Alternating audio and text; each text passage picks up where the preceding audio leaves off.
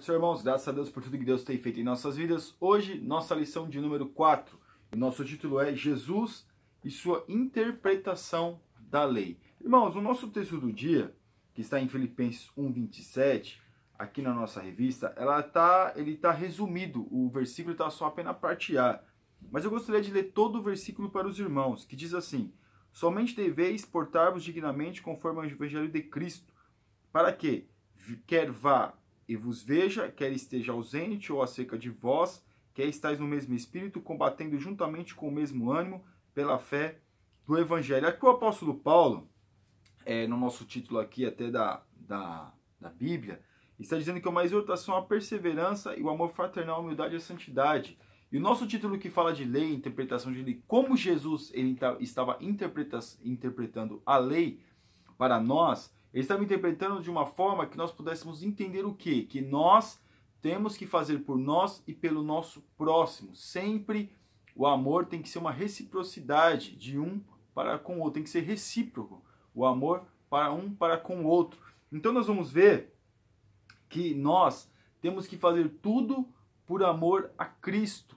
Então nós percebemos o quê? Que quando o apóstolo Paulo está escrevendo na igreja de Filipos, ele estava dizendo o quê? Que nós devemos perseverar perseverar naquilo que nós fomos ensinados. Então, nessa lição, nós vamos ver como né, Jesus e sua interpretação da lei, como Jesus interpretava a lei.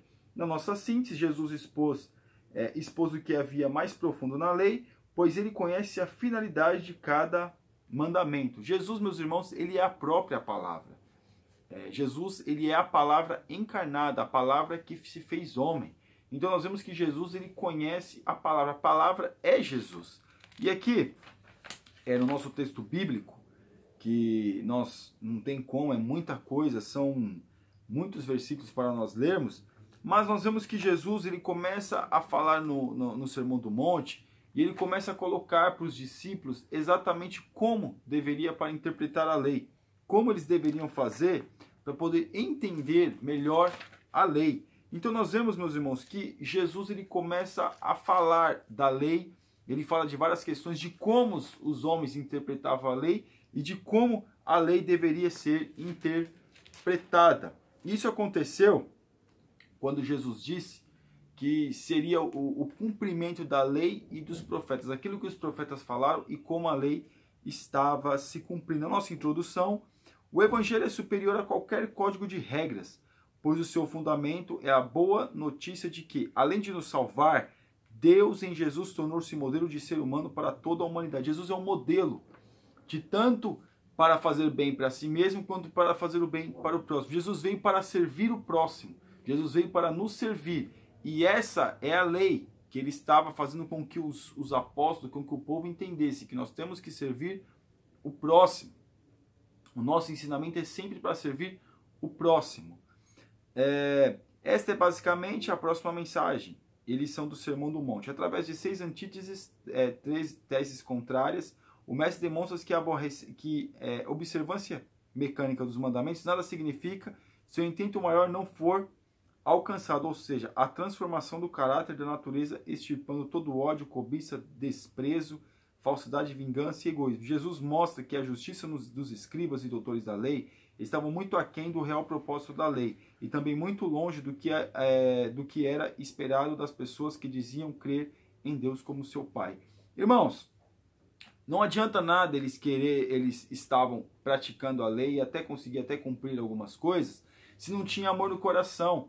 Porque aqui está falando aqui que o quê? Que é uma coisa mecânica, uma coisa que não tem amor, que não tem sentimento, que não coloca o sentimento, é uma coisa corriqueira, uma coisa que já está acostumada a fazer todos os dias. Mas Jesus ele veio explicar que deveria ter um sentimento ali, deveria ter um sentimento amor ao próximo. Se você não faz com o seu próximo, é porque você ama ele, por isso que não vai fazer, não porque a lei vai te punir. Então, por isso que Jesus fala que o resumo da lei e, e, e resumo de da lei dos profetas era amar a Deus sobre todas as coisas e ao próximo como a ti mesmo. Por quê? Porque se nós não amarmos, nós, se nós amarmos o nosso próximo, com certeza nós estamos cumprindo a lei. É o número um aqui, não odiar, cobiçar ou desprezar. Mas que não matar é preciso não odiar. De acordo com a lei, além do pecado matar, é crime passível de severa punição. Nós vemos que é, o pecado no Antigo Testamento de matar tinha a sua punição. Mas nós percebemos aqui que se nós amarmos o nosso irmão como nós estamos falando, com certeza nós não vamos matá-lo, nós não vamos odiá-lo. Então é isso que Jesus queria que eles entendessem, mas que não matar é preciso não odiar, porque antes, quando você vai, quando a pessoa vai matar outra, é porque ela odeia a outra. Então ela já vai com a intenção, com a raiva, com ódio no coração para matar. Mas se você não tiver ódio por aquela pessoa, você não vai precisar matar ninguém. Por isso que nós temos que ter sentimentos de amor com as outras pessoas. E ainda diz mais, Jesus diz que alguém que sabe que existe uma pessoa aborrecida por sua causa deve, antes de apresentar a sua oferta ao sacerdote, procurar a pessoa em, que, em questão e reconciliar-se com ela antes que seja tarde demais. Ou seja, se você está vendo que seu irmão tem alguma coisa contra ti, deixe a sua oferta, se reconcilie com seu irmão e depois vá e leva a sua oferta. Ou seja, senão a sua oferta não vai ser recebida. Porque nós vemos as pessoas hoje dentro das igrejas, das igrejas, que se odeiam, que não se falam, que não têm amor, que não tem é, é, é tolerância. Claro, irmãos, afinidade com todo mundo, com certeza nós não temos. Porém, nós temos que tolerar, nós temos que amar o nosso. O mesmo céu que nós queremos ir, nós também temos que desejar que outras pessoas também vão.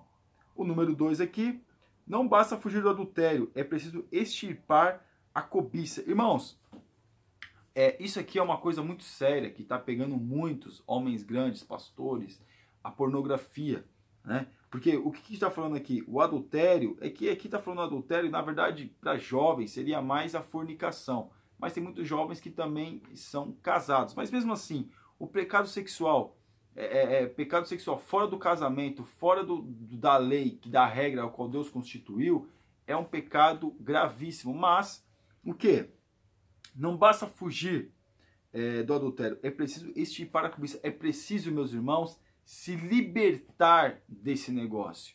Claro, irmão, tem, o, os homens têm tendências muito mais do que as mulheres, porém o homem tem que saber e fugir no sentido de que de não cobiçar. Aqui fala, não basta fugir, é preciso estipar a cobiça, ou seja, se libertar desse, dessa pornografia, se libertar desse negócio. Porque se não se libertar, quando tiver a primeira oportunidade, acaba fazendo uma bobagem.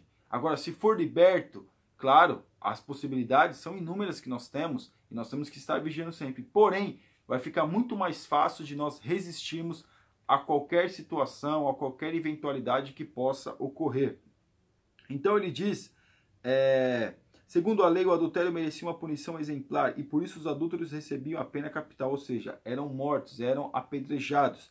Jesus, contudo, ensina que não basta simplesmente não consumar o ato, antes é preciso eliminá-lo em seu nascedouro, isto é, no coração ou na mente, onde tudo tem início. Então, por que, que Jesus disse? Se você cobiçou uma mulher no seu coração, você já pecou.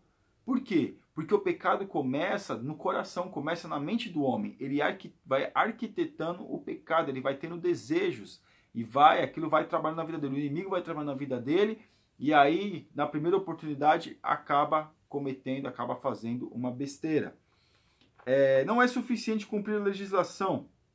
Antes é preciso não desprezar. Apesar de Jesus aludir a uma lei de Deuteronômio 24, do 1 ao 4, que tinha como finalidade auxiliar a mulher para que ela não ficasse desassistida, sua reinterpretação é objetiva. O mestre tem em conta a indissolubilidade do casamento instituída pelo Criador no início de tudo, ponto que ele tratou mais explicitamente por causa da insistência dos fariseus. Agindo dessa forma, não preserva apenas o auxílio e o amparo necessários à mulher, mas resguardava igualmente o homem, posto que a separação deixa marcas dolorosas é, para ambas as partes. Então, é, nós percebemos que Jesus aqui, até isso ele estava se preocupando. Alguns, eu estava vendo um, um comentário de um arqueólogo, ele falando que aquelas coisas que tem na testa da mulher, assim, que aquele monte de, de, de moedinhas, quando ela recebe, aquilo ali é sua aposentadoria. Se ela estiver desassistida, é, no caso, se acontecer qualquer coisa com o marido dela, ela tem como se sustentar, segundo ele. Mas nós vemos, meus irmãos, que Jesus ele se preocupa com tudo. Até mesmo nessa questão para a mulher não ficar desassistida, não ficar, é, vamos dizer assim, tendo que depender é, de outras pessoas, tendo que mendigar, mendigar. Não, as pessoas tinham essa condição, a lei foi estabelecida para as pessoas terem um amparo, um amparo com certeza do Estado. Apesar que Roma estava dominando Jerusalém, porém Jesus, as pessoas tinham a sua própria política, tinham a sua própria liturgia do culto, vamos dizer assim, mas quem dominava tudo era Roma. Mas mesmo assim, Jesus estava insistindo que essas pessoas não ficavam desassistidas. Nós vemos várias viúvas, mulheres, ajudando o ministério de Jesus. E da onde que vinha esse, esse, essa condição? Nem todas eram, eram, vamos dizer assim, empresárias. E se fosse empresária, provavelmente tinha herdado do marido. Mas nós vemos que tinha uma condição e provavelmente uma das condições é aquilo que esse arqueólogo Rodrigo Silva ele estava falando acerca de, dessa, dessa indumentária que a mulher usava e que se ela não podia perder. Amém? Não jurar, revidar ou vingar-se, recuperando a credibilidade. É, aqui, conquanto jurar fosse prática comum, Jesus é, veta toda forma de juramento, quer apelando para Deus, quer utilizando qualquer outro recurso. Então Jesus, meus irmãos, vai dizer que não é para nós jurarmos. Eu, a gente tem criança, a gente jura, eu juro, eu juro, mas nós não temos essa condição. Então por isso, Jesus até diz, né, meu irmão, que no versículo de número 37, Seja, porém, o vosso falar sim, sim e não, porque o que passa disso é procedência maligna. Então nós vemos que Jesus, ele falando acerca do juramento, para quê? Para que tudo aquilo que passasse do sim, sim, não, não, seria de procedência maligna. Então nós temos que ser verdadeiros. Se for verdade, é verdade. Se for mentira, é mentira. Se não for para fazer, nós falamos sim. Se não for para fazer, nós falamos não. Para quê? Para nós termos credibilidade em meio à sociedade. Então aqui, o mestre ensina que a palavra deve ser sincera a ponto de corresponder à intenção. Somente assim, recuperando a credibilidade, é que quando alguém quiser sim ou não, seja aceito sem necessidade alguma de qualquer juramento para o Senhor Jesus. Tudo que passa disso é de procedência maligna. Então, se nós queremos ter credibilidade, nós temos que falar a verdade e sermos sinceros. É se é, é como quem diz, né? E se não é, não é. Não tem como fugir disso. Isso é a realidade. E depois aqui, o número 2, não somente rejeitar a lei do talião, mas não revidar ainda fazer o bem. Irmãos, é, a lei de talião, nós vemos que é uma lei que até faz até uma, uma no Antigo Testamento, até pegou algumas coisas que a lei é o quê? Olho por olho e dente por dente, ou seja, você fez, você paga se tiver que pagar, paga, paga com a mesma proporção que você fez, é, você vai pagar. Mas o que Jesus estava falando, meus irmãos? A lei do talião, mas não revidar e ainda fazer o bem. Não revidar, não no sentido que não haveria nenhuma punição. Eu acredito que é isso, não uma punição, nenhuma consequência para aquele ato ou para aquele crime. Não. É que não devemos odiar, mas procurar fazer o bem para aquela pessoa, procurar fazer o bem, ou seja, dar uma outra oportunidade, porque nós éramos pecadores e Jesus não ajudou a nós, não está nos ajudando, não está nos guardando, nos abençoando. Porém, nós temos que entender que aqui Jesus estava falando que não deveria agir da mesma forma, porque quando a pessoa fazia, era odiada, era hostilizada, era discriminada no meio da sociedade. Então Jesus fala assim: não adianta vocês é, não, é, não, não tem que só, não, não somente rejeitar a lei do talião, mas também revidar e ainda fazer o bem. Não o que Jesus estava dizendo com essas palavras, mas o que ele estava querendo dizer, eu concordo com o título aqui do autor da revista. Mas tem uma parte aqui, é, o Messi, contudo, contrapõe a lógica da retribuição, pois a justiça não perspectiva, na perspectiva do reino nada tem com a justiça no aspecto das relações sociais. Tal como convencionada pelos homens, é assim que, conforme ele ensina ao prejuízo e perseguição perpetrados por alguém. A resposta deve ser o amor que constrange. De maneira semelhante deve se agir com quem quer algo emprestado ou solicita ou mesmo simplesmente simples favor. Tal postura realmente transcedia qualquer significado que pudesse ter o, o conceito de justiça na, na legislação, tanto do mundo antigo quanto do mundo então e até nos dias atuais. Ou seja, nós temos que até cumprir isso também, né? É, se a pessoa arranca um olho de um, tem que arrancar o olho dele também. Se a pessoa outras punições têm que ser colocadas. Se a pessoa tirar a vida de um, no Antigo Testamento era assim, tirou a vida, tirava a vida dele também. Se matou um filho, matava outro filho. Né? Matava o filho, matou o filho, ah, matou o filho dele, então o outro filho também vai ser morto. Isso é a lei de Talião, mas Jesus, outras consequências, outras punições têm que ser colocadas. Não é dessa forma que Jesus estava querendo dizer que resolve-se as coisas. É, apenas os da casa, mas amar igualmente os de fora e até mesmo os inimigos. Irmãos, isso é tão difícil. Amar os da casa é, igualmente os de fora, até mas amar os inimigos.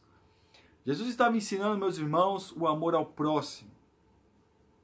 Amar os nossos inimigos, os nossos supostos inimigos. Porque na verdade, eu, eu particularmente, eu não acredito que outra pessoa seja minha inimiga. O que eu acredito e o que eu vejo que a Bíblia diz é que os nossos inimigos estão nas regiões celestiais. O que faz as pessoas muitas vezes contra nós são os, os, os inimigos, o nosso inimigo que nós não vemos. Aí você vai dizer, mas é o jeito dela, às vezes ela não gosta de mim e o inimigo então colocou. Não, meus irmãos, as divergências vêm porque o mundo é assim. O mundo tem confusões. O mundo tem esses senti tem sentimentos bons e sentimentos horríveis, de cobiça, de inveja. E isso leva as pessoas a ter, ter raiva de nós, ou ter ódio. De repente, alguma coisa que nós cometemos, pedimos perdão. E nós nos retratamos com aquela pessoa, mas mesmo assim o ódio continua, ou seja, nunca foi liberta.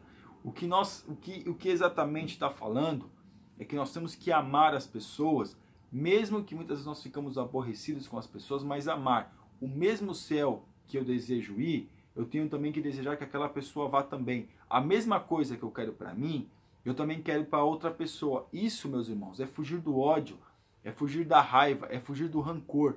Porque esses sentimentos vai sempre, vamos dizer assim, é rondar a nossa mente para ter raiva, para ter ódio, para ter rancor das outras pessoas. Mas nós temos que amar os nossos inimigos. Em nenhum momento você vê Jesus odiando aqueles que estavam, aqueles que estavam, vamos dizer assim, o crucificando, o humilhando, é, maltratando ele. Em nenhum momento você vê. Pelo contrário, Jesus, ele ama todos aqueles. Por isso que Jesus morreu por aqueles também.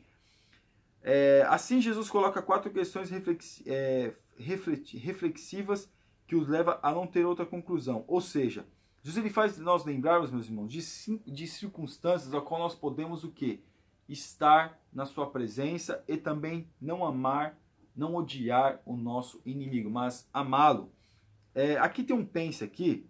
Em uma sociedade competitiva, é possível viver de forma apresentada, apresentada por Jesus Cristo?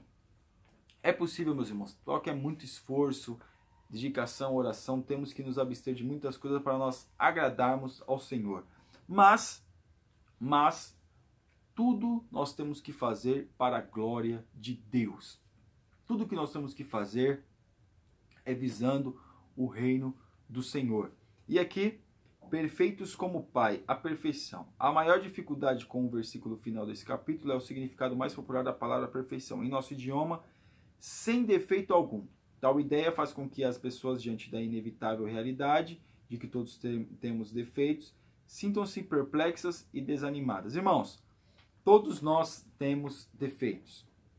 E nós vamos continuar tendo defeitos, nós vamos continuar errando. Porém, nós temos que buscar cada vez mais melhorar diante de Deus, cada vez mais melhorar diante do Senhor. Nós temos que buscar essa melhora, essa condição, essa relação com Deus, porque quanto mais nós buscamos a Deus, mais estamos próximos dele e mais nós temos que estar parecido com o Senhor Jesus. Porém, às vezes as pessoas ficam desanimadas porque sabem que acham que vai ficar perfeito, nunca vai cometer pecado, nunca vai fazer mais nada. Não, irmãos. Estamos sujeitos, nós de vez em quando vamos errar, porém, numa, numa vamos dizer assim, é, como é que nós podemos dizer? numa proporção muito menor com o que nós fazíamos antes. Pecados que a gente cometia antes, claro, nós não vamos cometer. Mas algumas coisas corriqueiras nós acabamos cometendo e quando nós vamos orando, buscando a Deus para buscar essa perfeição, nós vamos buscar, nós vamos é, errar numa escala cada vez menor. Não que a gente vai chegar a ser santo e, ah, meu Deus, agora, não. Sempre a gente vai acabar cometendo algum erro. Por isso, não desanime. Procure melhorar. Eu estou procurando melhorar. Nós temos que buscar a melhorar da presença de Deus, buscando a Deus, falando com Deus, mas sempre entendendo que nós somos seres humanos e não que a justificativa para errar, para pecar, para pecar contra Deus, para pecar contra o Espírito Santo, seja justificativa, seja, ah, eu sou ser humano, então não, não é isso. O que nós temos que entender, quando nós erramos, nós temos que pedir perdão e às vezes o, o erro ele é involuntário, ele acontece numa, numa situação corriqueira. De repente você passa, esbarra no irmão sem querer, o irmão fica com raiva, ou pisa em alguém, no caso, no sentido de pisar no pé, está passando, de repente pisa e dói no pé do outro, e a pessoa fica chateada, é, às vezes maltratar as pessoas, você está num dia muito bom, a pessoa vem falar com você, você, re, você responde de uma forma, vamos dizer assim, agressiva. Algumas coisas a gente acaba errando, às vezes a gente está em várias situações, irmãos. Mas nós temos que fugir da aparência do mal. Perfeição na lei. É interessante notar que o mestre propõe na perspectiva no reino o mesmo que a lei também visava. Isso significa que a intenção do Filho de Deus não apenas convergia com, a, com o grande objetivo da lei, mas que era a mesma do Pai. Irmãos, é, andar perfeito nas, na lei de Deus não é fácil. É que nem é uma, é, é, vamos estar refletindo aquilo que está falando aqui mais em cima. Mas é que o mestre, eu achei até isso é interessante. Aqui está até escrito interessante é interessante para que o mestre propõe na perspectiva do reino, o mesmo que a lei também visava, ou seja, melhorar de vida, melhorar a condição. Imagine se um estado, irmão, não tem lei. Imagina, é uma bagunça, não tem ordem. Então, é uma reflexão, está refletindo na nossa vida acerca da lei de Deus. Então, nós temos que entender que quando é, é, nós estamos buscando a perfeição na lei, até nas nossas leis mesmo, que são muito terríveis as nossas leis do nosso país, é, a gente tem obrigação, a gente tem deveres, mas nós não temos direitos. Mas no caso de Deus, nós temos deveres, nós temos direitos. Então, saiba que essa perfeição da lei, a qual nós buscamos para nos enquadrar na lei de Deus, e nos enquadrando na lei de Deus, conseguimos cumprir a lei dos homens, saiba que o Senhor Jesus, ele nos ajuda a fazer tudo isso e ele nos recompensa quando nós estamos buscando melhorar no seu reino. Perfeitos como Pai. A perfeição pronunciada pelo Senhor refere-se a ser íntegro, inteiro e coerente, tal como Deus, o Pai. Não está em pauta uma exigência, olha, veja bem, não está em pauta uma exigência é, de que as criaturas assemelham-se ao Criador de uma forma absoluta o que seria obviamente impossível. Não tem como nós sermos como Jesus. Irmãos, não tem como nós sermos perfeitos como Jesus. Jesus nasceu sem pecado. Jesus veio nessa terra, claro, ele teve que fugir da aparência do mal, ele teve que fugir do pecado. Porém, não tem como nós sermos como Jesus. Não tem como. É, é impossível. A questão gira em torno da mudança da, de perspectiva que só pode ocorrer de verdade com uma profunda transformação da natureza e personalidade de cada um. Tal processo, é bom lembrar, dura a vida toda. Irmãos, nós vamos na vida toda buscar melhorar. Nós vamos a vida toda buscar agradar a Deus. Essa tem que ser a nossa condição. É... Eu achei legal esse ponto importante. A perfeição apresentada por Jesus não, se, não significa igualar-nos a Deus. Antes refere-se à identificação natural que cada filho deve procurar ter com o pai. Ou seja, o filho gosta de parecer com o pai. Então nós temos que ter o desejo de parecer com Jesus, né? Nosso Deus e que querer também, né, galgar as, é, vamos dizer assim, as coisas do nosso Pai. Mas perfeitos, perfeitos, santos, nós não vamos ser. Nós temos que buscar isso dia após dia. A nossa conclusão: a perfeição mencionada por Jesus demonstra claramente o que é mais importante na lei e na perspectiva do reino. Qual sejam as intenções, tal justiça excede a dos escribas doutores da lei. Isso porque ser íntegro, não apenas nas ações, mas também nas intenções, faz com que nos pareçamos com o Pai celestial. Então nós, nossas intenções vão dizer realmente se nós somos parecidos com Jesus ou não somos. A nossa vida no cotidiano vai dizer realmente se nós parecemos com Jesus ou não parecemos. Amém, meus irmãos. Que Deus abençoe a sua vida. Você que ainda não é assinante do nosso canal, te convido a assinar, divulguem os vídeos. É bênção para mim, é bênção para você e é bênção para todos nós. Amém? Que Deus abençoe os irmãos. Fiquem na paz. Deus abençoe.